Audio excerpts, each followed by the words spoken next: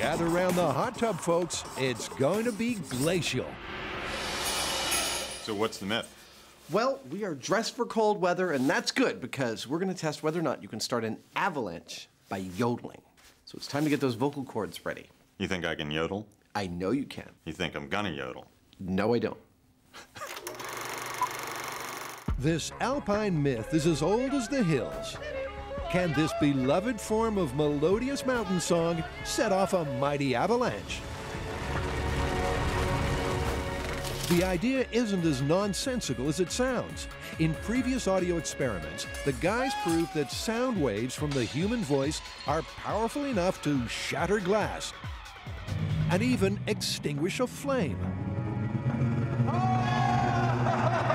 Now, using the same notion in this ultimate auditory myth, we're going to try to bring a mountain to its knees. You know, if we're doing myths on avalanches, we need to go to the mountains.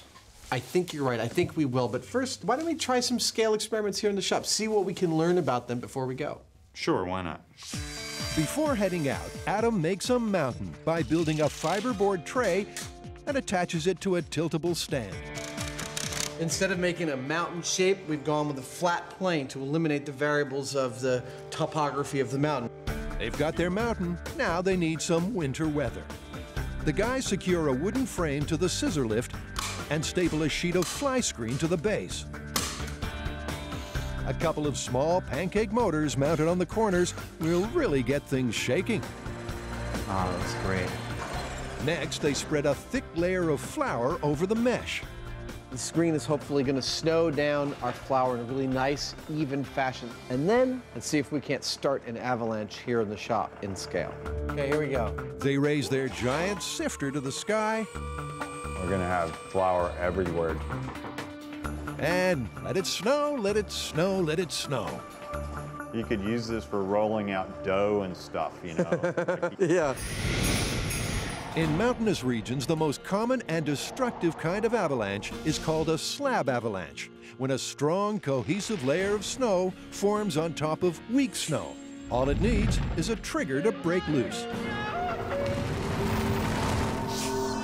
So it's crucial for Adam and Jamie to get their scale test poised at the most precarious point possible.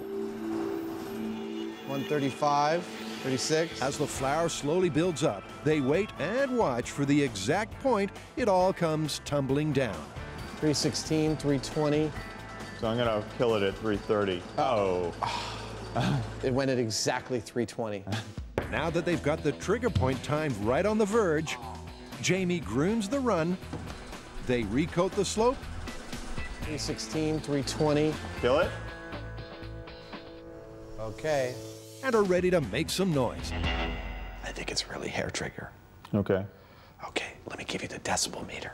So start out at 60, and if I go higher than that, just start dialing it up. Mm-hmm. Adam may not be a professional yodeler, I'm gonna yodel at a soft volume and slowly build up. but who doesn't know and love such movie classics as Heidi and the Sound of Music?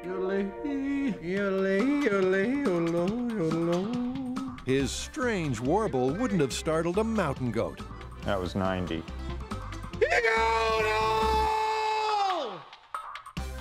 That's giving me a headache. Okay. I can't imagine what it's doing to you.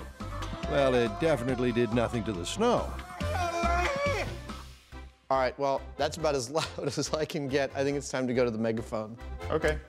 A megaphone should take this scale test to the max.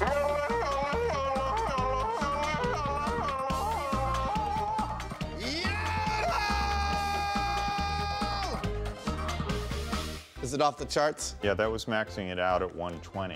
120, that's like as loud as a jet engine, right? Mm, not quite. Not quite. All right, let's One- try this again. Aiming the megaphone toward a different part of the mountain might hit the right note. Oh! that is a result. That was a hair trigger, and it went. It went with sound from your voice. Odele hee hoo. This alpine tale may just be true.